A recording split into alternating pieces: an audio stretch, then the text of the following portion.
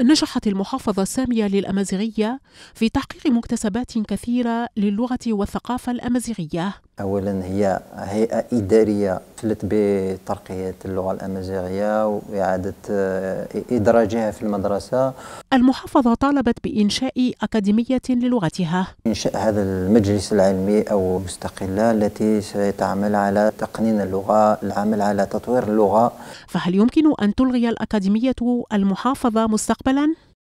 الأمر وارد يفترض لماذا؟ لأن الظروف التي أدت إلى إنشاء المحافظه الساميه لم تعد قائمة.